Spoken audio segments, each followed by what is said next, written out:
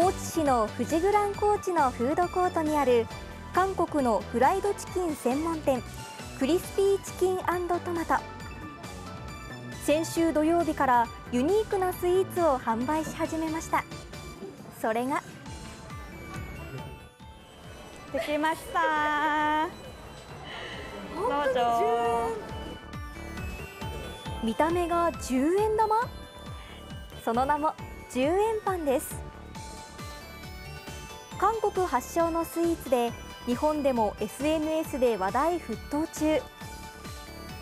東京の会社が大阪や沖縄などに6店舗展開し高知ではクリスピーチキントマトがフランチャイズ契約を結び7店舗目として出店。四国初上陸です。その大きさは？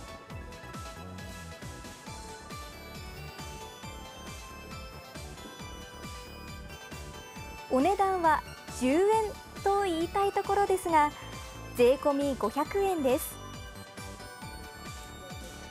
材料はすべて韓国から取り寄せています。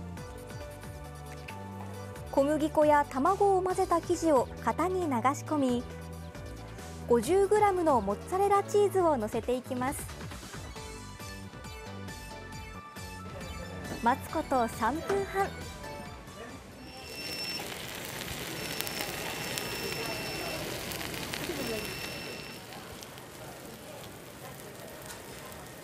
熱々の10円パンは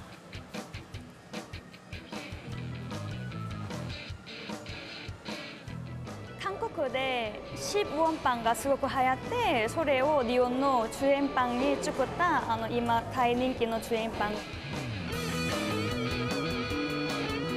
その味は？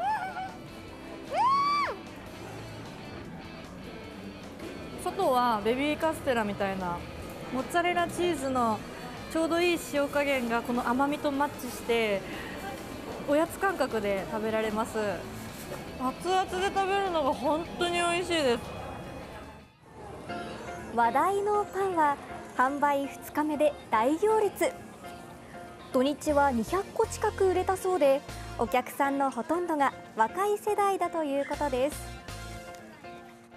めっちゃうまい。ですインスタとか見ててで学校帰りとか来ててもう最高です。すごい。もうそっくりですね。すごい見てほら。10円。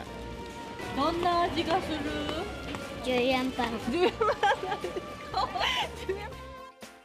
韓国に行かなくても高知で韓国の料理を今一番流行ってる料理を食べれるように今頑張ってますもう四国初な人気アイテムを全部持ってくるんで皆さん楽しんでください。店では10円パンの他にも韓国のソーダや韓国チキンなど40種類ほど販売しています。クリスピーチキントマトは毎日午前10時から午後8時まで営業しています。